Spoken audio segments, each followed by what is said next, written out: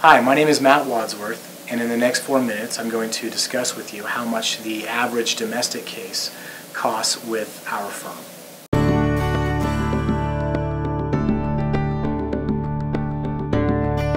Yeah, it's a common question for us to get asked how much their divorce is going to cost them.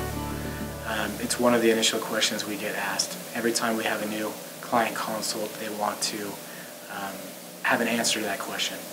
It's difficult for us to answer because the unknowns in the case. Uh, generally speaking, if you're going to run a, a any litigation case or a divorce case, a domestic case, through the same structure, you're, you're going to have a range of costs. But that range is going to be dependent on a number of different factors within a divorce case, and there are some idiosyncrasies within the divorce case that make it different than any other litigation case. One being that you're required to mediate in a divorce case. That can happen initially, it can happen right out of the chute, it can happen uh, six months down the road, it can happen on the eve of trial. But it is a requirement under Utah law to mediate any domestic litigation case. The reason why that presents an issue is because it's expensive, frankly. Uh, you're going to be paying for your attorney at least for probably an eight hour day. Um, that's a significant amount of money. The other issue to consider is you're also going to be paying for the mediator. That can run anywhere between from a cost to you of 100 to $150 an hour. And so that's another cost to consider. And not all mediators are the same. And some are better than others. On the higher end, you're going to be often running into judges um, who are going to have a lot of expertise on a, even domestic cases. You know, even half of the cases that are in our court system are domestic cases. And that, so I mean, judges are doing a lot of domestic trials all the time. They deal with it on a constant basis. Your other costs to consider are litigation costs. And so what we refer to as attorneys as the discovery phase. Um, that can consist of subpoenas. It can consist of deposition costs. It can consist of um, going to an actual house and taking pictures. And so you have to pay for a photographer to come, perhaps, or and obviously the attorney is going to be there. Uh, you may have to take out your day. What I generally tell people when they ask me that question is we just talk about their initial retainer and what that will generally get them. And that you, people are able to grasp uh, that concept.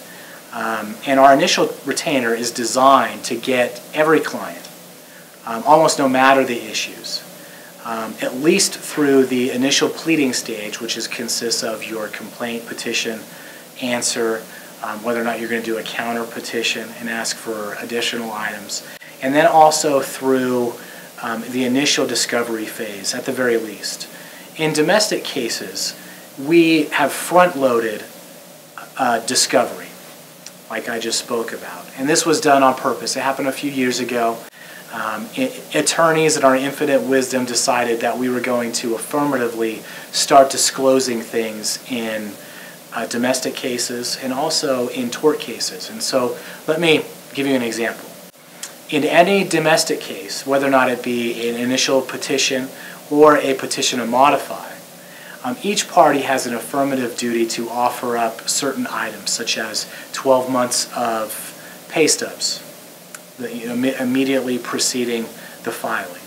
Uh, they're required to offer up three months of bank, uh, bank statements. They're required to offer up any loan applications that they filed within the year before. Um, and we do these things in an effort to actually try to make the case cheaper. And so right out of the chute, we want at least this initial phase to be done.